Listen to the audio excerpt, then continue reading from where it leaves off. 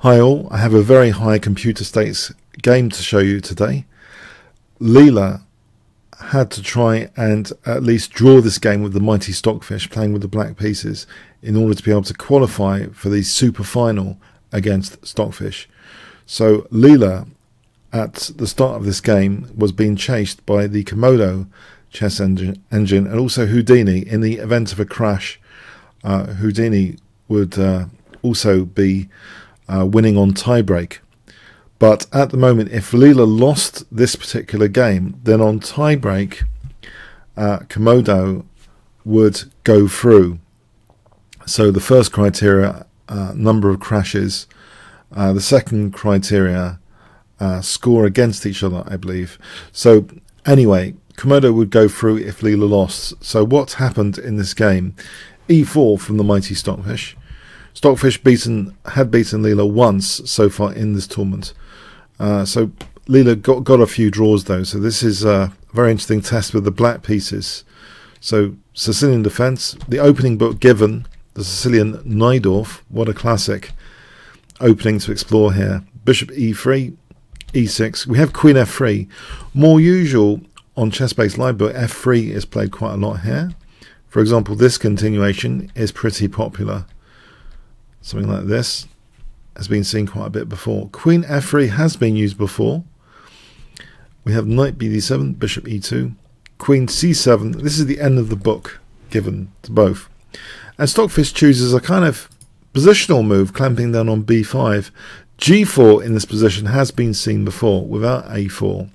For example, knight e5. This uh, continuation looks quite aggressive for white and uh, it could end up being very promising. This this kind of thing, it's very very promising. Uh, this has actually all been seen before in a game Fajs against Zambor in an ICF email correspondence game. So, uh, so that that's an interesting thing to just just consider G4 straight off the bat. But A4 was played, uh, and we have B6, G4 now. Now with the queen on f3, this looks awkward with g4 in a way, tactically, and Leela tries to uh, underline that with d5, trying to have an exploitation on this diagonal for the queen and rook. We have e takes, bishop b7, bishop f4 hitting black's queen. The queen just steps back to c8, so maintaining that pinned pawn. Now Stockfish castles kingside, and we have bishop c5 on knight takes d5, you might ask. Knight takes, bishop takes. Bishop can hit the queen. The queen goes to h3. This position seems about even. Uh, it does seem fairly sensible for black to play like this. Uh, we have bishop c5 though. Uh, now queen e3. So unpinning and now threatening something like d takes potentially. We have knight takes d5, knight takes bishop takes, and Stockfish gets mega aggressive here with b4, offering a pawn. c4 is also pretty scary, uh, but perhaps after bishop b7, b4, bishop can drop back, doesn't have to take on b4. And C, c5, for example, b takes, uh, b takes, knight takes. This position, there's a lot of positional pressure, but black might actually have technically an edge because white has always got to be cautious about this weakened diagonal with the king there. It's a bit unsafe, some of these squares fundamentally. Uh, so, yeah, that kind of restricts white's advantage and possibilities sometimes, this diagonal.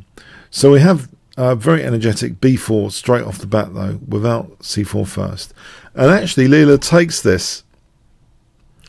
Uh, yeah, it's scary because yeah, Leela just needs a draw. Uh, if the bishop had dropped back, and say we have c4, bishop b7, rook ad1. Actually, this is also a little bit scary if black castles here. Knight takes is a bit scary. But, as I say, white's kind of been put in check, so to speak, with this diagonal. And here, queen c6 is a good move, hitting the knight and threatening queen h1 checkmate. So, for example, rook d5 taking this continuation can actually lead to a spectacular queen sack, where it seems as though it might be dynamically equal. Uh, so yeah, that that is interesting, uh, to say the least. Uh, so if the bishop just drops back, yeah, this knight takes. If f takes here, this is asking for trouble actually. Rook takes d7, white's getting a big advantage. So this diagonal is a key diagonal for black to use at the moment because of that g4 move.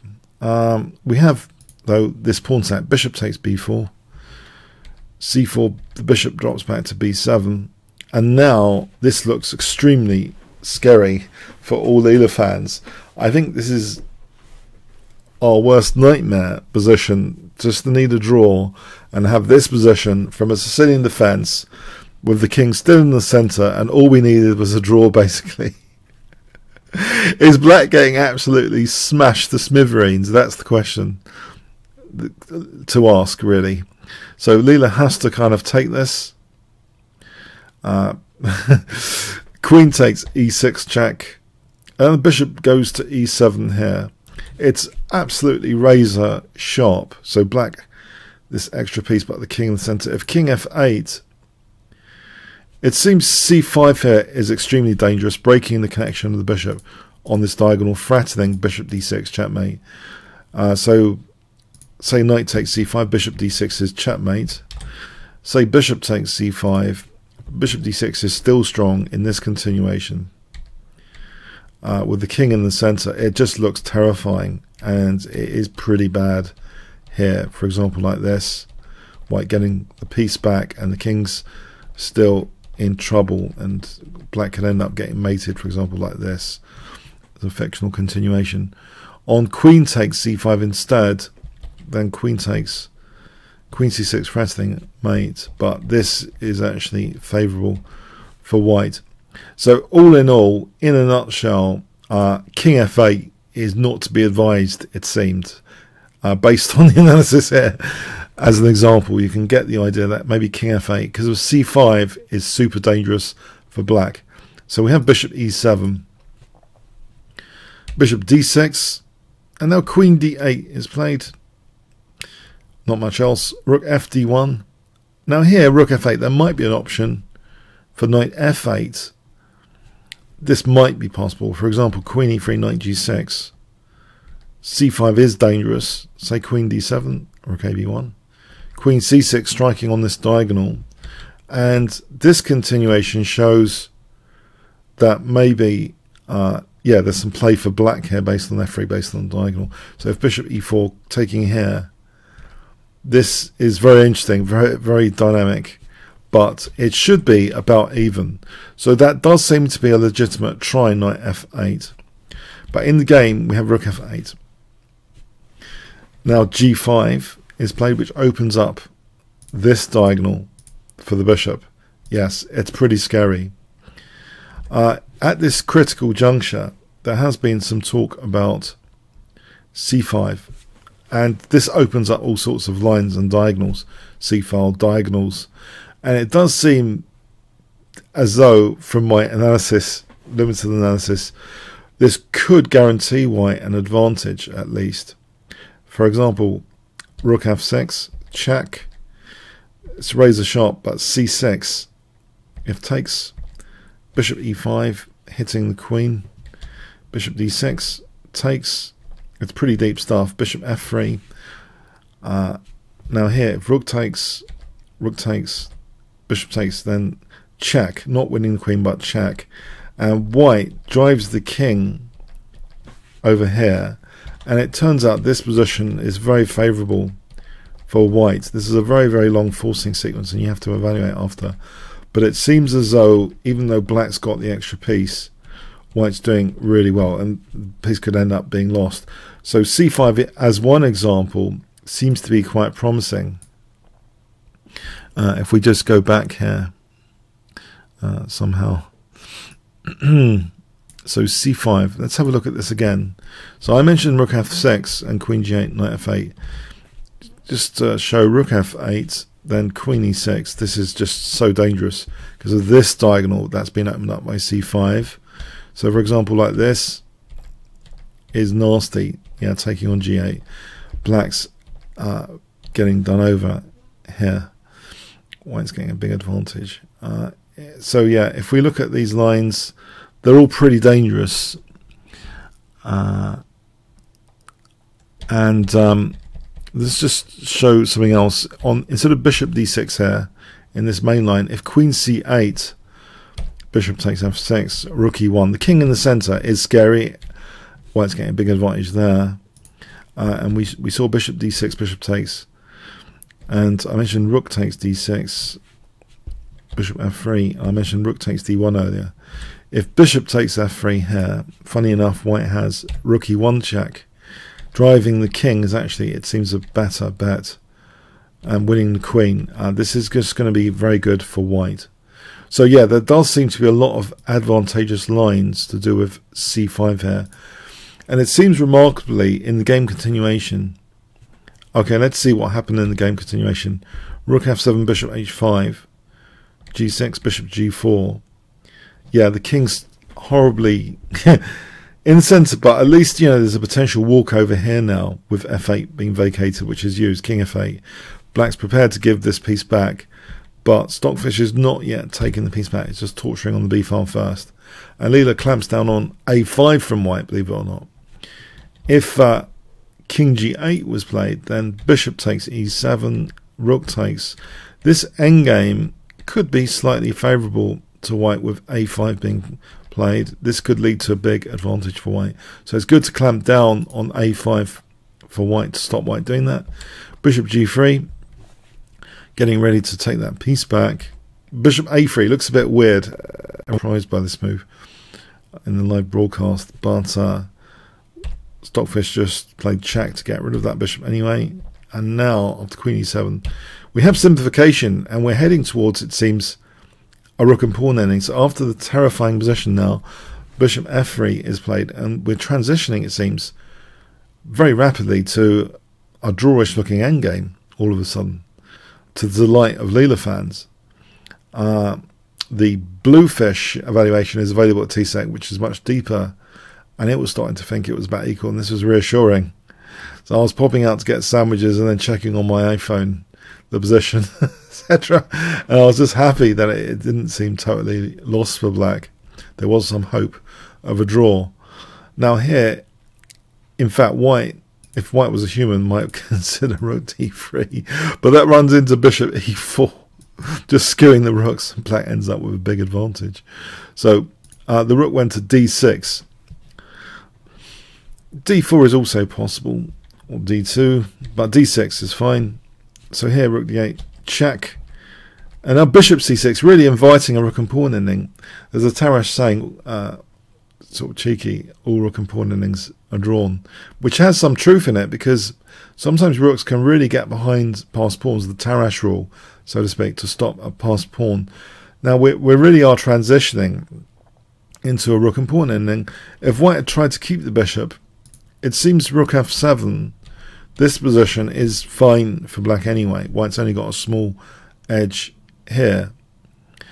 Uh, yeah, this earlier g4 is pretty committal even for endgames. It's its weaknesses for the king. That means the rook's kind of tied down at the moment. So anyway, we have bishop c6, which invites this rook and pawn ending. And now Leela fans, I think, we're getting less worried about this. We have rook f6, rook takes, rook takes rook a2. So, okay, for the moment, white's two pawns up, but a4 is dropping, so only one pawn up. And the Tarrasch rule, if this pawn's ever pushed, the Tarrasch rule getting the, the rook behind the passed pawn is pretty powerful concept for these rook and pawn endings. Which, which is why I feel, yeah, it's not just a funny saying, it, there is some truth in it.